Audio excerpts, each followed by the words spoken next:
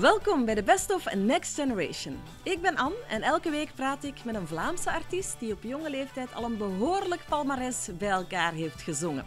Aan de hand van hun populairste top 5 gaan wij een blik werpen op hun carrière.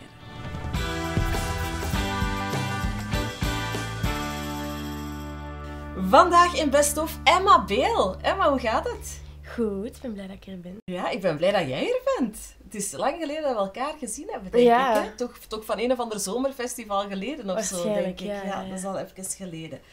Wat heb je allemaal uitgestoken de afgelopen dagen? Ehm, ik ben even weg geweest naar Frankrijk en daarheen geraken en terug geraken was weer een avontuur. Want ik ben een mega uitsteller en, en op de een of andere manier heb ik toch altijd wel iets voor. Dus ik had bijvoorbeeld bij het heen gaan mijn TGV gemist en dan moest ik ineens een vlucht pakken waardoor ik super verkouden ben geworden. Want ik kan niet tegen airco. Dus vandaar deze mooie nasale stem vandaag. Ehm, en bij terugkomen was er een bommelding in de TGV, bla bla bla. Dus we- ik ben, ben helemaal eh, nog een beetje in de war. Maar we gaan, we gaan er het best van maken. En waar je op vakantie? Het was om uit te rusten. Ja, ik was even gewoon vijf dagjes weg. Dus dat is Eh, niet even gelukt. zon. Uitrusten. Ja, een beetje, maar het is gewoon veel te kort. Vijf dagen lijkt altijd zo, ah, ça va, maar dat is eigenlijk echt te kort. Maar bon, ik ben al, al lang blij dat ik eh, deze zomer een beetje tijd heb gehad voor, voor vakantie en, en ook een beetje voor op te treden. Dus dat was een leuke combinatie. Ja. Je zegt van, ik kan eigenlijk niet tegen vliegen, want ik word direct verkouden. Ja. Ja, dat zijn dingen waar jij op moet letten natuurlijk, hè, met jouw stem. Ja, eigenlijk wel. Dus eh, jij weet van, als ik moet optreden, ja, is het best niet om daarvoor een vlucht te pakken. Ja, dat is gewoon die, die, die felle airco waar ik niet tegen kan. Ik, ik weet niet hoe dat, dat komt, maar er moet nog maar een airco een minuut op mij staan en ik ben echt super verkouden. Ja. Ja, heel lastig. Dus op je rider staat een kleedkamer zonder airco. Ja, sowieso. En ook mijn ouders en iedereen die mij een beetje kent, weet ook dat ze in een auto geen airco mogen Oh, opzetten. echt? Ja, Ja, ja. oh my god. Goed, ja, dat wordt een, een, leuk leven als de aarde zo opwarmt. Ja. Frisjes. Goed, weet je nog de allereerste keer dat we elkaar ontmoet hebben? Mm, Ik vind het eigenlijk heel schattig om het er even over te hebben, want nu zit er voor mij een hele mooie volwassen vrouw. Maar toen was dat echt nog een meisje van 14 jaar. ja, ja, dat is grappig, hè? Dat was heel aandoenlijk. Je had u ingeschreven voor de Voice Kids. Mhm. Was dat uw eigen plan? Had je zelf zoiets van, ik, ik wil echt, echt, echt iets met zingen doen? Mama, papa, alsjeblieft, ik wil meedoen. Ehm, eigenlijk was dat altijd iets dat mij, dat mij triggerde of zo. Ik, ik, allee, ik, het, van zolang dat ik me kan herinneren, deed ik mee aan van die eh, free podia en dingen op school. En alles wat met zingen te maken had, dat was, dat was sowieso iets dat ik super graag deed. Op school ook. En ehm, ik was al een beetje aan het kijken. eh, in Nederland was de Voice Kids al bezig. En ik was... Ik, ik had al zo wat door als 13-jarige van programma's die in Nederland komen. Kunnen misschien ook naar België overwaaien. En dat was toen effectief ook zo gebeurd. En toen ik ehm, zag dat de Voice Kids naar België kwam, heb ik gewoon me direct ingeschreven. Ja. Ehm, omdat ik al honderdduizend keer auditie had gedaan voor de volwassen Voice. Maar dat was dan altijd zo'n mail van... Ja, je bent te jong. Ehm volgende keer beter misschien of zo. Dus, maar dat was volledig mijn eigen plan. Ik had zo in het vijfde leerjaar, ik weet dat nog, een e-mailadres gemaakt. En daarmee schreef ik mij constant in voor dingen. Zalig. Maar nooit was echt iets gelukt en ik dacht dat dat bij de Voice Kids hetzelfde verhaal ging zijn. Dat dat gewoon weer een leuke ervaring was, die auditie. En dat, dat, dat het daar dan ook weer bij bleef of zo. En Ja. dat was dan uiteindelijk totaal niet het geval. Tot grote verbazing van mijn ouders ook. Is echt? Ja, die dacht van, ja, doe maar Emma. Het gaat, ja, het gaat die weer- kennen mij ook als een mega plantrekker en dat hebben die ook altijd gezegd. Dus ik denk niet dat dat hen zo hard verraste of zo. Maar ik denk niet dat ze wisten dat ik effectief... Ze wisten dat ik zingen leuk vond, maar ze wisten niet, denk ik, dat dat echt iets was dat ik echt zo graag deed. Ja, En ook misschien een beetje goed kon of zo. ja. Maar ja, uiteindelijk, de Voice Kids is het dan verder niet geworden, maar je hebt daar wel mensen leren kennen die Ja. je een pak verder hebben kunnen helpen. Zeker, en dat vind ik eigenlijk ook het leukste gewoon. En dat was ook voor mij de hele insteek van meedoen aan dat programma. Was gewoon mensen of, of, of leeftijdsgenoten leren kennen die, die dezelfde passies hebben en gewoon samen dat allemaal beleven. Ja. Ehm, en dan ook mensen leren kennen zoals Hans en Ingrid dan. Ehm, Ingrid was dan onze zangcoach en Hans was de MD van The Voice. Eh, waarmee dat, dat super goed klikte. En, en ik weet nog dat Reggie achteraf altijd zei van... eh allez, zo na de opnames van... Ja, ik ga je sowieso contacteren. We gaan sowieso contact houden, want ik wil dat je komt naar mijn studio en zo. En ik was helemaal hyped daarover, want ik dacht van... Ah, oké, toch misschien iets na The Voice. Dat zou nice zijn. En dan hoorde ik dat alle andere kinderen superveel interviews kregen. En dat Fiona naar... eh dat was dan een meisje van mijn team die dan het vers is geraakt, denk ik ook. Ehm, dat hij naar de studio was geweest bij Reggie en ik had zoiets van, allee, Ju toch?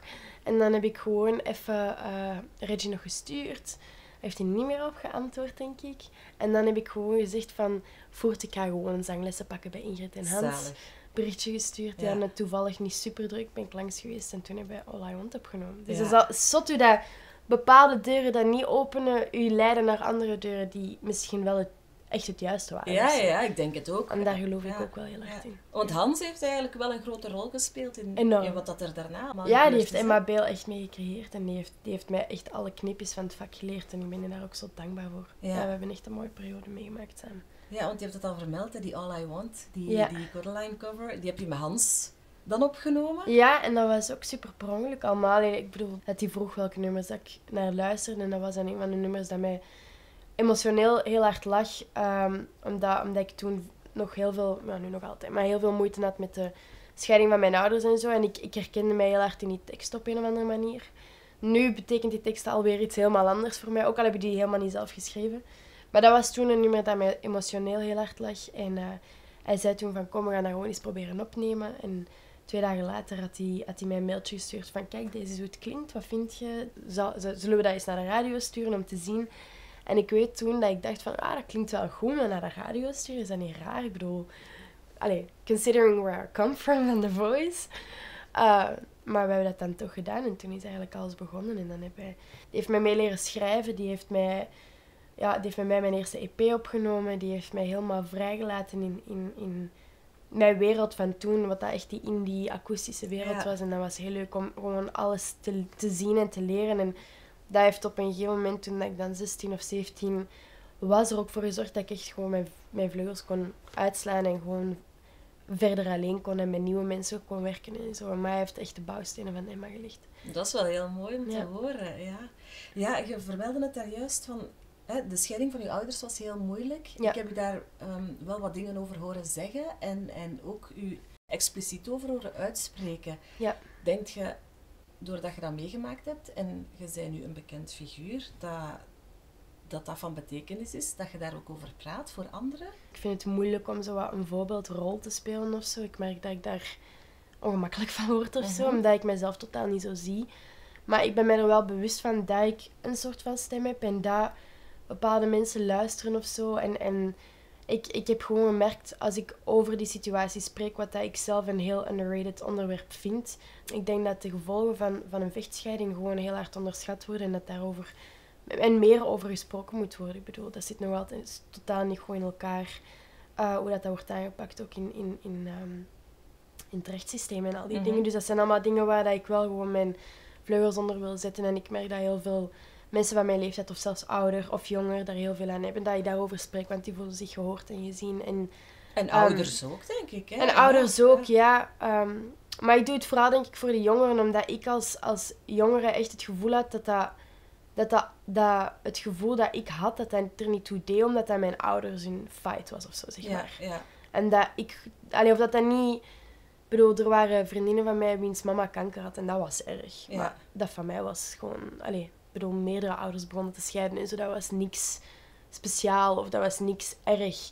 Terwijl dat wij wel gewoon... Dat heeft ons geshaped in, in to wat dat wij zijn nu. En dat... Allee, ik, vind, ik vind het gewoon belangrijk dat daarover gesproken wordt. Want ik weet dat veel mensen daar, uh, daar echt van afzien. Um, ik denk dat het gewoon belangrijk is van gewoon op tijd aan de bel te trekken en hulp te vragen, want daar is echt niks mis mee. En, en, hulp vragen kan best sterker. Voilà. Oké. Zullen we eens, voordat we officieel aan die top 5 beginnen, dan luisteren naar het nummer waarmee dat dan allemaal begonnen is. Hè? Dat is Voor jou samen met Hans uh, opgenomen. All I Want van Emma Bale. But if you loved me, why'd you leave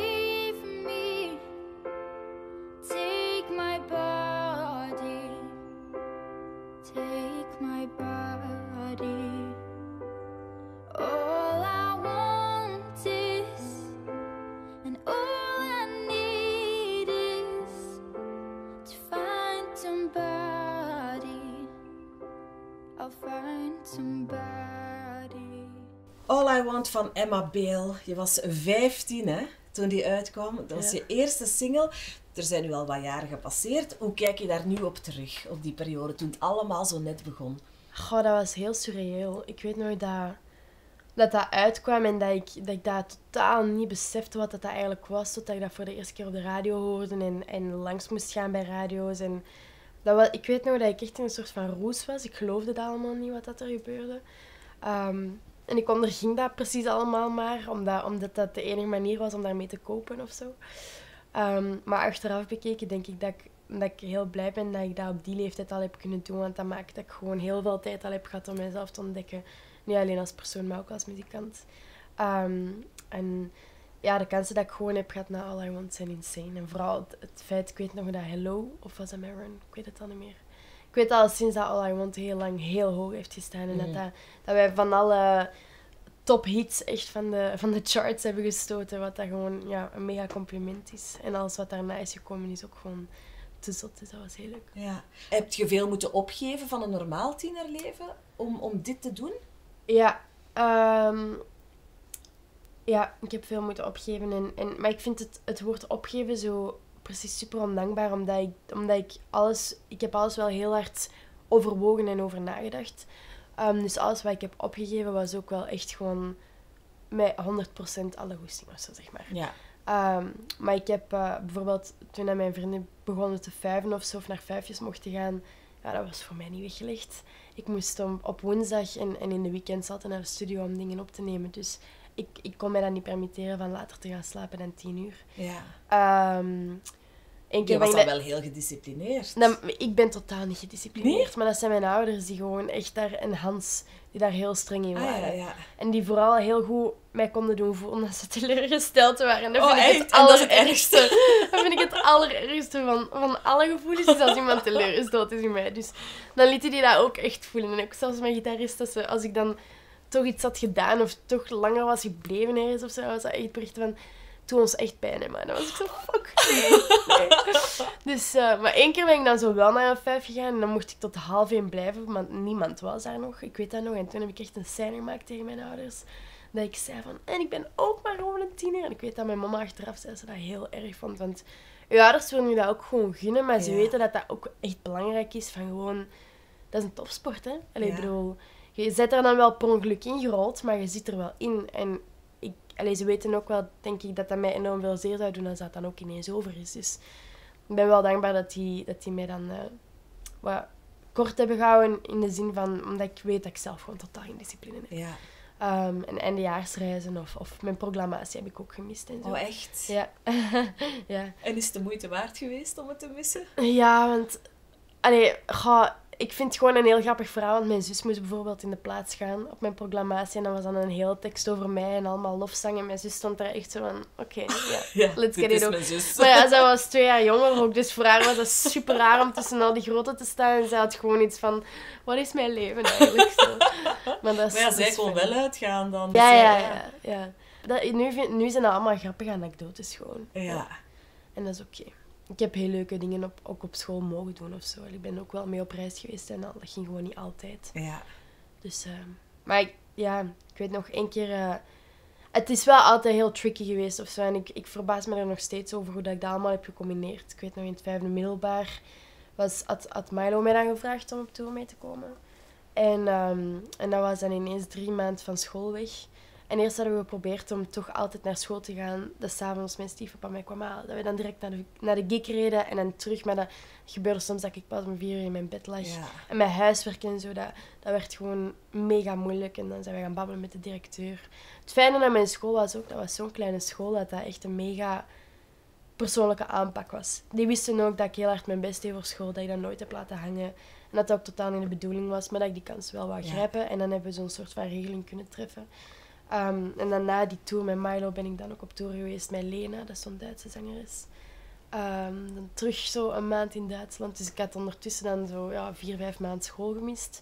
Examens van Pasen of, of van kerst ik dan met Pasen. En zo was dat dan helemaal zo geregeld. Maar nu, als ik daar op terugkijk, dan denk ik van, amai, dat is eigenlijk echt wel zot dat ik dat nog zo goed heb kunnen doen eigenlijk. Want dat is wel niet evident. Het was dan ook moeilijk om vriendschappen te onderhouden met met de vriendinnen dat je misschien had op dat moment ook? Ja, um, het moeilijk... Allee, ik, ik, um, ik had een vast vriendinnengroepje, um, maar de helft van die meisjes zat, in een, zaten in een andere klas, dus die zag ik sowieso niet superveel. Maar er waren een paar mensen in mijn klas waar ik een supergoeie band mee hadden, eh, had. En uh, toen dat ik op tour ging, hadden wij een groepje, zodat die mij zo semi op de hoogte konden houden. Maar op een gegeven moment... ehm, ja, ik weet niet wie dat... Als die daarover spreekt, dan is dat vaak van... Ah ja, dat was jaloezie, zeggen, zeggen mensen dan. Maar ik, ik denk dat ik hetzelfde zou doen. Ik zal gewoon al verder vertellen voordat ik hier... Ben alles in de, in de war aan het doen.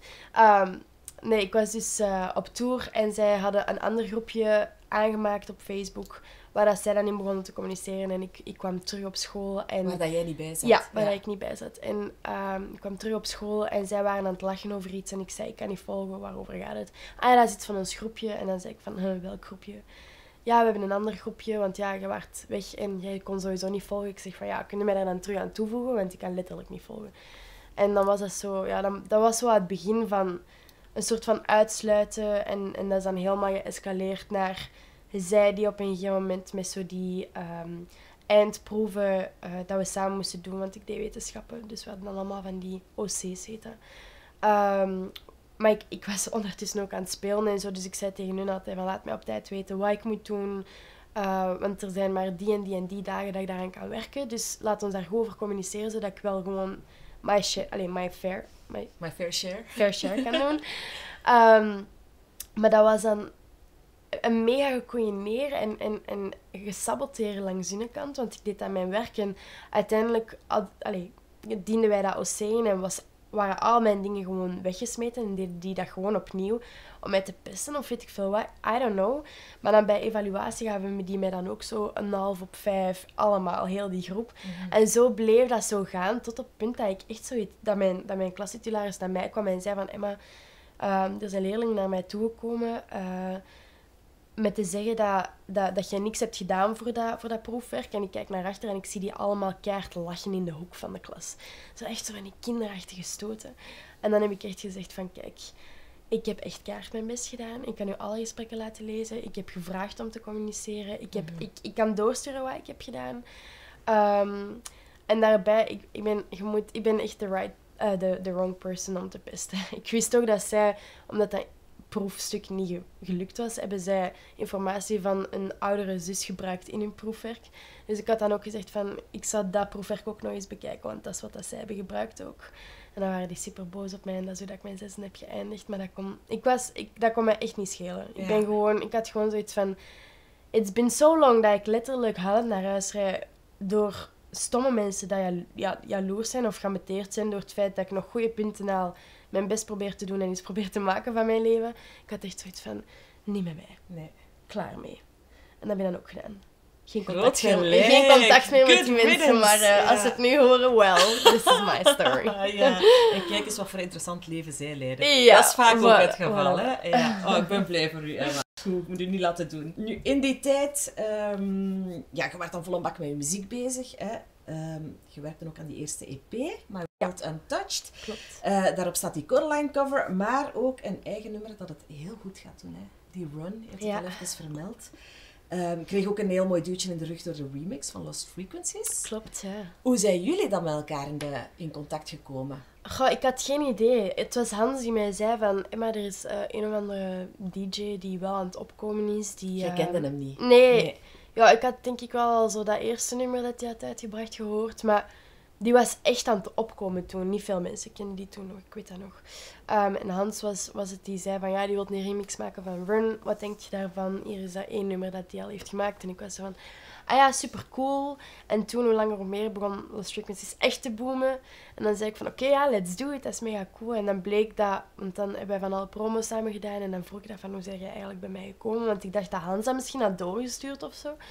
Maar hij was in de auto gewoon aan het rijden. En, en hij had dat nummer op de radio gehoord. En hij zei van, ik moet dat remixen. En zo is dat gebeurd eigenlijk. Dus super tof, ja. Ja, is ook tof dat zij naar jou komen. Hè? Ja, ja, je moet niet meer zelf gaan Nee. je eigen verkopen. Nee, inderdaad. En Ja. Dat, vo- ja, dat vond ik wel leuk. Dat dat gewoon zo heel organisch is gebeurd. En dat hij dat gewoon echt een supergoed nummer vond. En eh, ja, dan is dat ook wel semi-ontploft, dat lied. Ja, semi, gewoon helemaal. Want het heeft echt enorm goed gescoord. Hè. 26 weken in de Ultra Top 50. Ondertussen 65 miljoen keer gestreamd. Ja, dat is veel.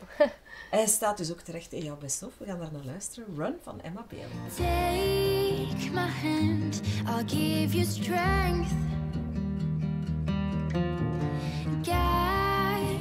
hundred forgotten lands. See the world, it's at your feet. If you close your eyes,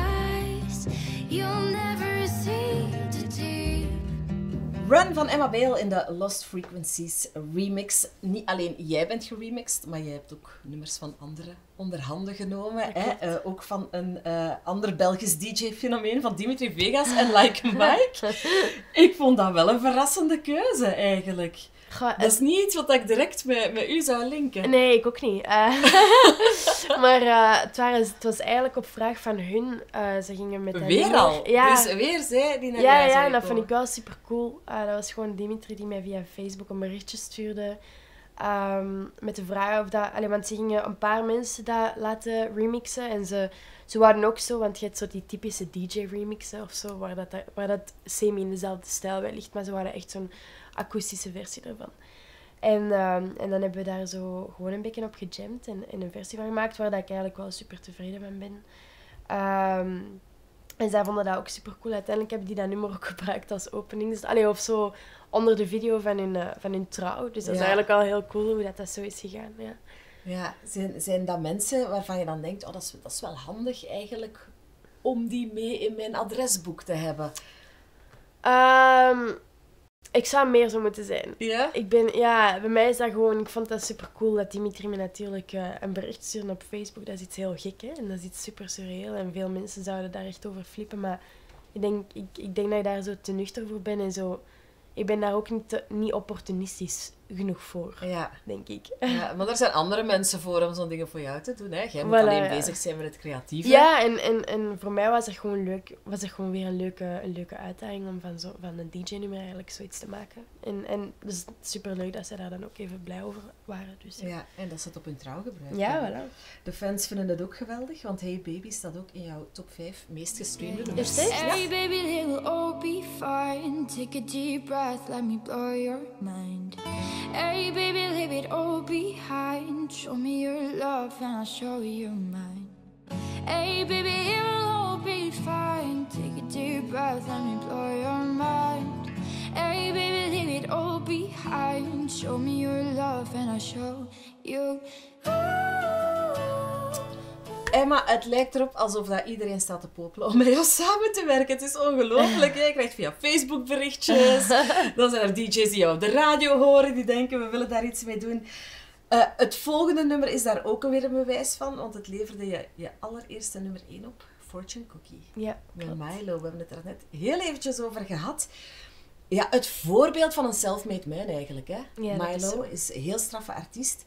Ik kan me voorstellen dat je door met hem te toeren en met hem samen te werken ook heel veel geleerd hebt. Enorm. Dat was echt gelijk een, een, een mentor. En ik ben super blij dat ik, dat ik die ervaring heb gehad. Zeker op vlak van live gebied eh, heeft hij mij zot veel geleerd. En mega, mega gechallenged ook. En het fijne was gewoon dat wij zoveel shows hadden, dat ik zoveel dingen kon proberen. En ik denk dat dat ook de reden was dat hij mij mee op tour had gevraagd of zo. Eh, ik denk dat hij wel potentieel zag en zo, maar ik denk dat, dat, dat hij ook besefte zotte groeikans voor mij dat zou kunnen zijn. En, en, en dat, ik dat, dat ik dat altijd ging blijven meenemen en dat is ook zo. Ehm, dus dat was super fijn. Ook hij is, heeft, heeft mij benaderd en dat vond ik ook zot. Ehm, en dan meegevraagd op tour. Ja, dat was, dat, was, dat was ook zoiets waarvan ik dacht, nee, dat is niet waar, dat is niet waar. Ja, dat is de ultimate dream of zo, hè, is, is toeren. Ehm, en dat was Waar zijn jullie dan allemaal tof. geweest? Eh, dat was eh, gewoon Benelux. Go- gewoon ja, Benelux. gewoon. Normaal ging naar Er zijn veel Frankrijk artiesten die zelfs niet buiten België geraken. hè? Dat is waar, dat is Ja. waar. Dat klinkt een beetje ondankbaar. Maar nee, ja, het was, het was wel close to home. Of zo, Ja, ik zal het zo zeggen. Het is niet dat wij Spanje en Portugal hebben gezien of zo. Ehm, het was Benelux, maar dat was super tof. Dat was echt kei, kei, kei leuk. Gewoon met mijn stiefpapa on the road. Gewoon naar elke venue heb ik kei mooie zalen gezien. Want dat was een, een soort van theatertour. Dus dat was, ja, dat was zalig. En ik, probeer, ik schreef dan in de loge allemaal nummertjes, terwijl ik ook mijn huiswerk aan het maken was. En die probeerde ik dan uit on stage. En dat was gewoon een mega goede leerkans. Ja. Ja. Je had gezegd, ik heb, ik heb veel van hem geleerd, heeft mij gechallenged. Heb je daar concrete voorbeelden van? Ah, Wel ja, dus als ik dan een, een nummer had geschreven of zo, en ik durfde dat niet direct te laten horen aan hem of, of, of, of te spelen, dan zei hij van ja wel, je moet dat wel doen, want het beste, allee, het beste om te zien of dat een nummer goed is of werkt, is om dat gewoon voor publiek te spelen. Wat je te verliezen? Ik bedoel, en dan, en dan zei ik van ja, dat is waar. En dan heb je dat dan gedaan. En die hebben mij gewoon dan altijd super veel feedback gegeven. Ook Jo, de broer van Hans, die was Ja. dan de geluidsman van, van Jonathan eh, Milo. En, en die hebben mij gewoon op die manier super veel geleerd en super veel laten proberen. En, en, en ja, probeert anders dat zo eens te zingen en probeert zo. En Jonathan heeft mij ook mee op podium genomen om dan Fortune Cookie te zingen en dan nog wat andere liedjes. En dat was gewoon super tof, ja. Om... Ik keek ook elke, elke show naar hem en wat dat hij zei en wat dat hij deed. En daar heb ik ook gewoon veel van opgepikt. Ik wist door hem wat dat het publiek leuk vond. En ja, dat is, dat is, een, dat is een mega entertainer of zo. Ja, ja, ja, ja. Allee, ik bedoel, Ja. je kunt niet naar een show van hem gaan en ook al is dat je muziek, nee, je gaat je sowieso amuseren. Want Ja. Die is gewoon hilarisch. en dat was gewoon, ja, dat was gewoon heel tof.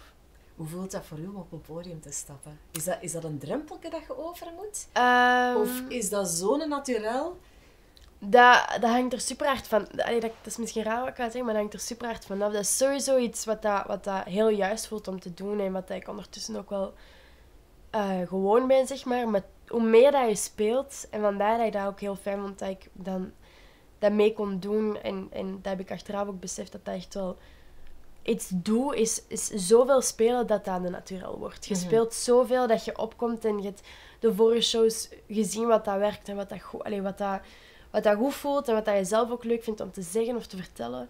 En zo bouw je eigenlijk naar je allerbeste show. En dat is eigenlijk super leuk om dan op het einde zo zelfzeker te zijn dat je niks schrik hebt. Je durft dingen te doen, je durft meer interactie te vragen. En zo krijg je eigenlijk een super sterke show en worden ook zelfzeker op het podium. En nu, ja, sowieso met corona dan, maar hoe minder dat je speelt, hoe minder zeker dat ik ben of zo. Ah, dus nu is het eigenlijk wel weer... Ja, ik Ik vind moet dat... dat een beetje op gang trekken dan. Ja, dat is echt zo. Maar ik denk dat dat ook wel normaal is of zo. Maar het is niet zo dat ik, dat ik echt denk van.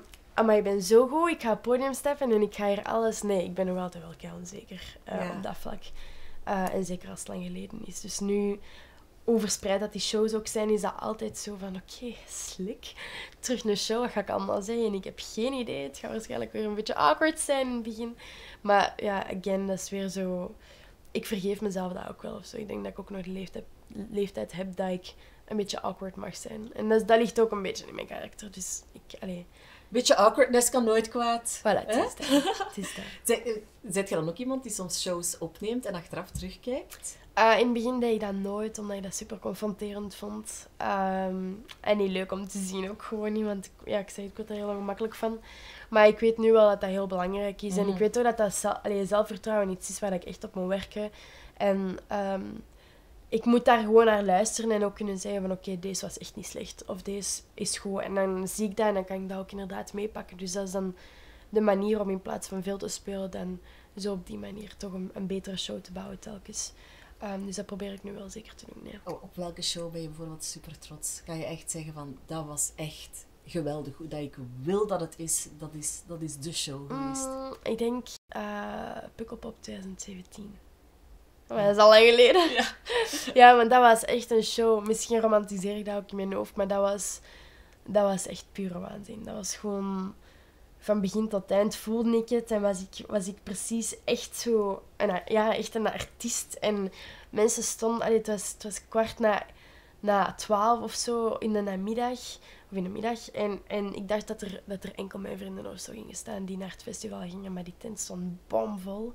En ik weet dat ik echt, echt gewoon mindblown was van heel die ervaring. En Ja. gewoon van hoeveel, hoeveel volk dat daar aan het meezingen was. En, en ik was aan het dansen en dat voelde gewoon allemaal super juist. En ik denk dat ik ook goed had gezongen, of dat ik vond dat ik goed had gezongen. Dus dat was gewoon zo... It, it was just right of zo. Ja. Ja.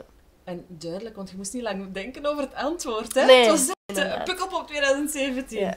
Oké. Zeg, en eh, ja, we hebben al gehad over al die artiesten waar dat je mee hebt samengewerkt. Zijn er nog die op jouw verlanglijstje staan? Als je nu, eh, dream big, hè? alles is mogelijk. We hebben alle centen van de wereld. Iedereen heeft tijd, iedereen leeft ook nog. Ja. Met wie zou je graag, of had je graag eens, eens samen in een studio gezeten of op een podium gestaan? Ehm, met Prins en Ja? Sade, denk ik. Ja. Ja. Ah, als ik dan ja, oudere artiesten moet kiezen of zo, zeg maar, dan had ik heel graag... Ik denk dat, dat, ik, dat, dat een sessie met Prince of zo, dat dat onbetaalbaar had geweest. Ja. Gewoon, ik denk dat ik dat enorm had, had gevoeld of zo en altijd had onthouden. Ehm, maar ik probeer daardoor gewoon heel veel te luisteren daarnaar. En dat, dat, daar leert je ook veel uit. Ehm, en het grappige, ik, ik heb- ben heel hard fan van een andere groep, Blood Orange heette die. Mhm. En je hoort gewoon hoe hard dat die Prince hebben bestudeerd. En dat zo heel eigen en modern hebben gemaakt. Dus als ik dan zou kunnen kiezen, dan zou ik met hun heel graag iets willen doen. Dat, Ja. dat zou super cool zijn.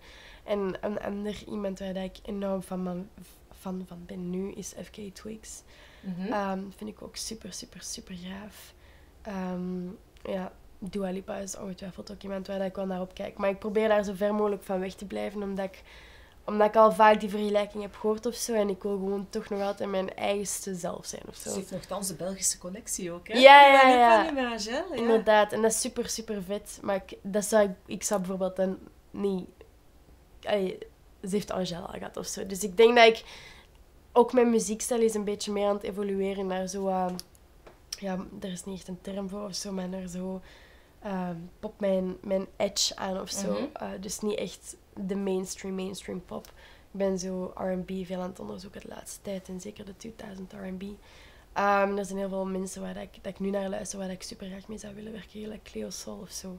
Eh, de Londense neo-soul stroming of zo. Ehm, ik ga binnenkort ook een maand naar Londen om daar te schrijven en zo. En die mensen zo wat op te zoeken. Dus Oké. eh, dat zijn zo wat- ja, dat zijn zo wat de mensen waar dat ik nu heel graag naar, naar wil trekken. Dus ja. een spannende toekomst Ik hoop uit te wachten staat, als ik het zo hoor, Ja. wel. Zullen we nog eens luisteren naar die Fortune Cookie? Dat is goed, De samenwerking met Milo. Am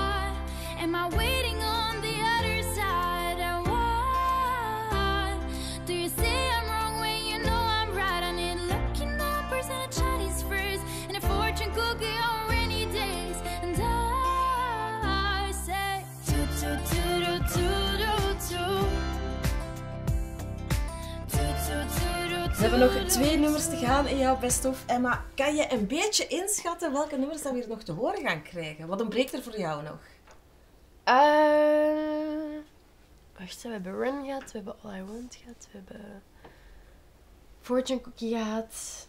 Hey Baby dan, Hebben we ook al gehad. hebben we ook al gehad. Eh welk zou er nog? Het is al een lijstje, hè? Ja, dat zijn er al vier, toch? Ja, oh, die All I Want was, was een opwarmer. Dat was een opwarmertje, oké. Wat zou er nog in kunnen staan? Worth It of zo? Mhm. Eh, of eh, iets van ieder voor muziek of zo? Ik weet het niet. Worth It is al een goede gok, Ja? ja, uit 2016.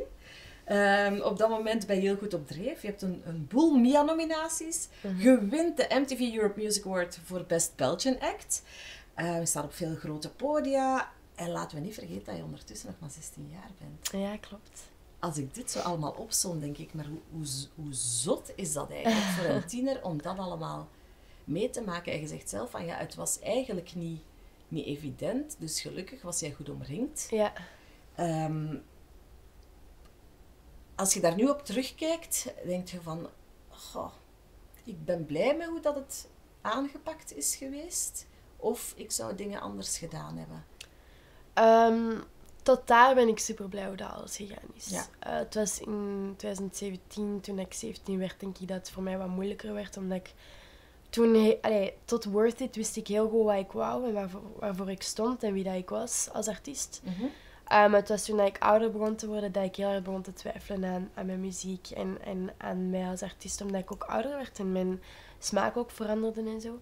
Maar tot dan ben ik super blij met hoe dat alles is gegaan. Oké, er waren wat middelbare schoolstreken en al die dingen, maar alles ging wel goed. Ik bedoel, ik had nog goede punten. Ik werd inderdaad super goed omringd en, en alles was een droom. Hè. Ik Ja. bedoel, al die dingen dat er gebeurden. er is een foto, ik, ik denk, ik heb die onlangs nog eens opgezocht op het internet, om, omdat dat super grappig is. Toen dat ze zeiden dat ik die MTV Award had gewonnen, ik stond toen naast Laura en naast Woody Smalls. En ik dacht dat, dat een van hun, ja, obviously, dat ging winnen. En toen als ze ineens mijn naam zeiden, er is echt een foto waar dat Laura ook zo, zo doet. Woody doet zo, zo. En ik ben zo, zo echt super grappig. Dat is echt een mega funny foto. Ja, Dus want, eh, eigenlijk- Worth It eh, heb je ook wel met de hulp van Hans en Ingrid eh, Ja, klopt. gemaakt en uitgebracht. Hè? Op dat moment, je bent dan eigenlijk al wel even bezig. Kunt je dan al een evolutie zien als, als artiest? Ja, want dat was zo het punt waarvan dat ik waar, waarbij dat ik dacht van oké, al die akoestische nummers super leuk, maar ik, ik heb ook eigenlijk een heel spontaan karakter en ik wil ook een beetje dansen en ik wil eh, ook wat andere dingen proberen in plaats van altijd achter mijn gitaar te staan, want ik ben niet per se zo braaf of zo Ja. maagdelijk als iedereen Ja, altijd bleef zeggen. Ehm, dus dat was zo, Worth It was het eerste experiment into wat ik dan wel wou. of Zo. En ik weet dat ik heel veel moeite had met dat nummer, want ik wist dat dat wel qua song een sterk nummer was, maar ik wist niet of, dat dat, of, dat, of dat ik dat nu echt goed vond of zo. Voor mij is dat altijd zo'n mega twijfelsong geweest. En dat is ook Want het je hebt kind- uitgesproken tegen Ingrid en Hans waarschijnlijk van ja, ik wil eens wat Ja. andere dingen proberen. ja, klopt. Maar je kon dan nog niet exact... Goh, ik, ik was, ik was wat? mega fan van Oscar en Wolf op dat Ja. moment. eh, en Aurora. eh. en dat waren zo wat de referenties dat ik aangaf. Van ik wil zo wat meer feeriek gaan. Ik wil meer, eh, meer flowers en meer zo weirde dingen doen. En, en, en daar is Worth It uitgekomen. Inderdaad, die hebben super goed geluisterd. Ik wist het zelf gewoon totaal nog niet. Ja. Ik wist zelf totaal niet wat dat, ik- of, dat, of dat, dat dan was wat ik wou, of dat ik het totaal anders zag. Of dat, ik heb daar gewoon super lang over gedaan om, om echt te weten wat ik dan wel wou. Ja. Dat heeft me drie jaar gekost. Nadat ik heb gezegd tegen Hans van oké, nu ga ik gewoon verder op mezelf en ik ga zelf wel onderzoeken wat dat ik dan wil. En met heel veel producers samengewerkt dan en, en heel veel ges, ge- gestruggeld en nagedacht en dingen geluisterd en gewoon echt met van en opstaan blijven nummers schrijven tot dan nu dit jaar dat mijn album er kom, is gekomen. Hè, Daar gaan we het straks uitgebreid over Ja. hebben. Eerst nog even die Worth It. Ehm, je zegt, ik had het er heel moeilijk mee. Als je daar nu naar terug luistert, welk gevoel heb je dan? Dat is zo, eh, want ik weet dat heel veel, en vooral de gay scene, en dat vind ik super funny, die zijn zot van dat nummer. Maar echt zot. Ehm, ook al mijn, mijn beste gay friends, die, die vinden dat ook het beste nummer. Fabian, I know you're listening. Ik weet dat dat je lievelings is. Maar voor mij is dat echt zo... Ja, dat is... Dat is, ik ben er zeker van dat veel artiesten zo een paar nummers hebben waarvan dat ze denken, oh god. Ja. Echt? Is het zo erg? Niet zo. eh, Het ding is, ik relativeer die dingen heel goed, dus ik weet ook dat dat, dat, dat van, van de pijst is, maar ik speel dat nummer bijvoorbeeld niet meer. Nee, nee. Het- een beetje spreekt te veel hetzelfde- twijfel uit of zo dan? Misschien? Nee, gewoon. eh, nee, dat is gewoon echt mijn ding niet. Ah, ja, ik ja. zal het zo gewoon zeggen, ja.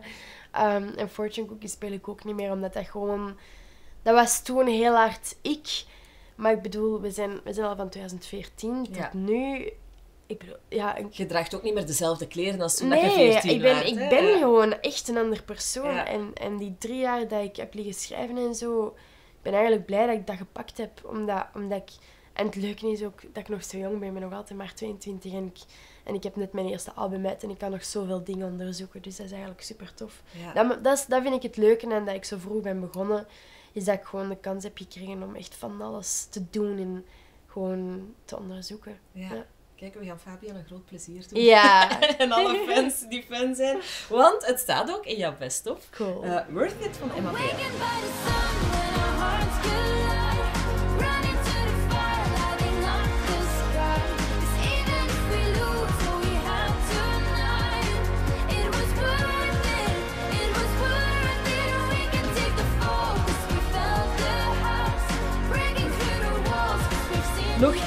Te gaan, Emma. Het is, het is er eentje van een tijdje geleden.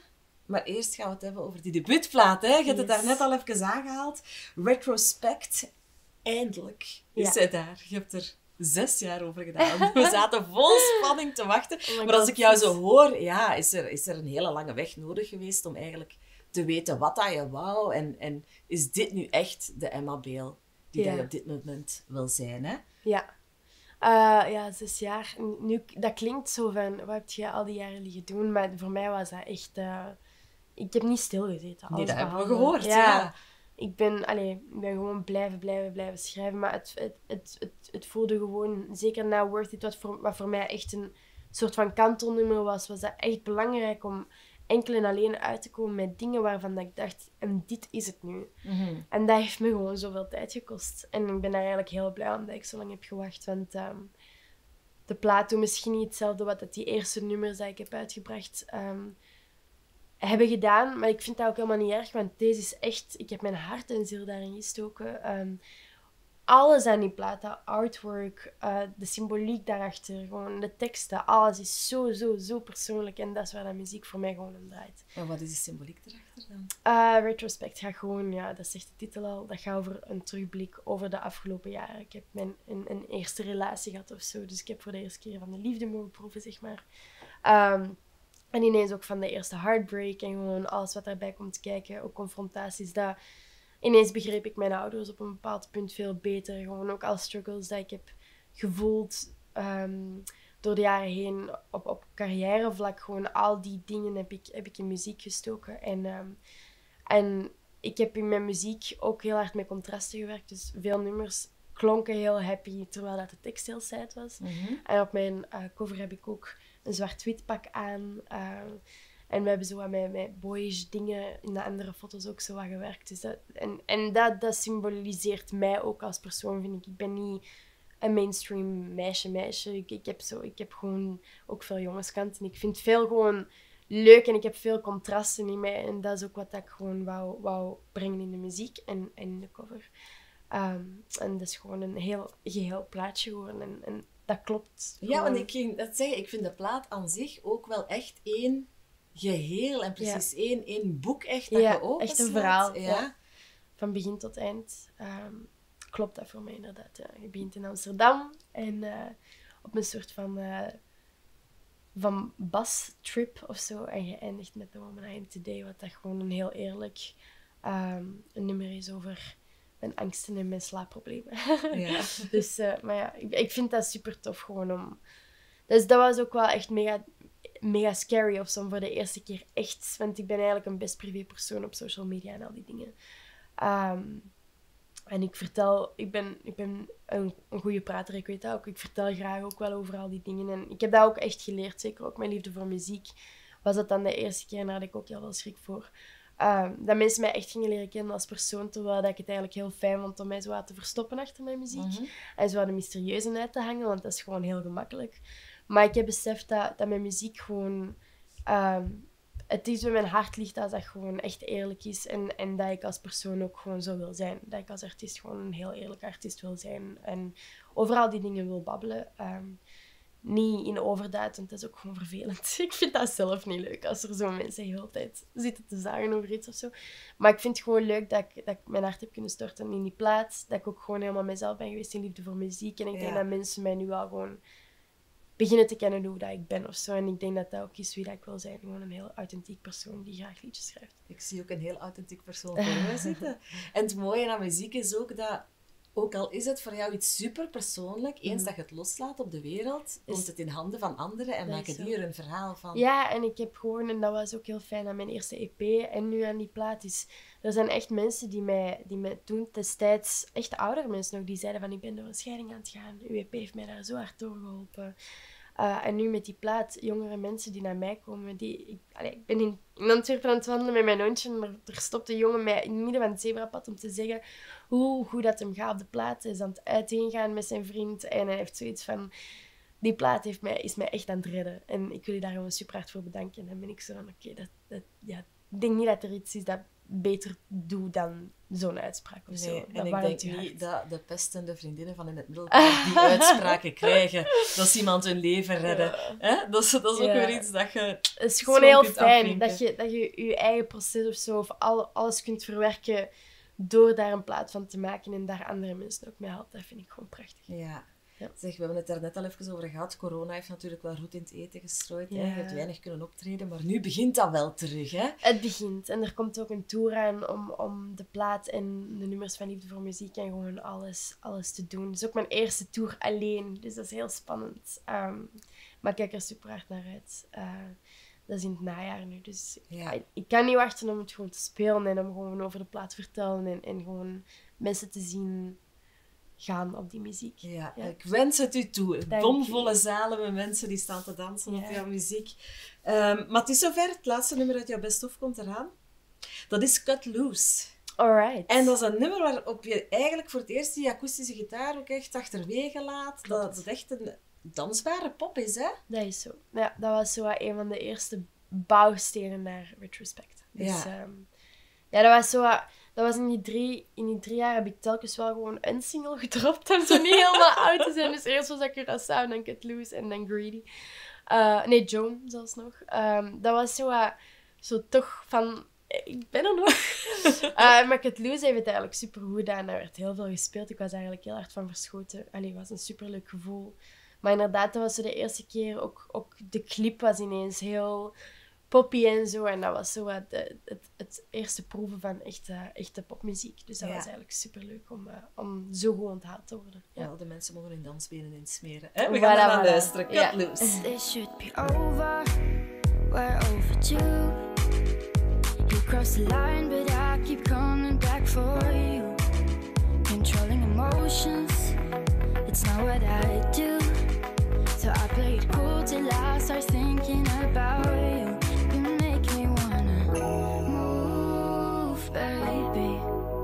it's been a while. Yeah, it's been a while. Emma, het was een waar genoegen om jou hier bij mij te hebben. Ook al heb je van alles meegemaakt. RC en bommeldingen en TGV's gemist. Merci om toch tot hier te geraken. En met ons te babbelen. Hè? Met veel plezier. Het was leuk. Ook bedankt aan alle luisteraars en kijkers die de podcast volgen. Elke week neem ik de carrière en de best-of van een populaire Vlaamse artiest onder de loep. Dus tot volgende keer.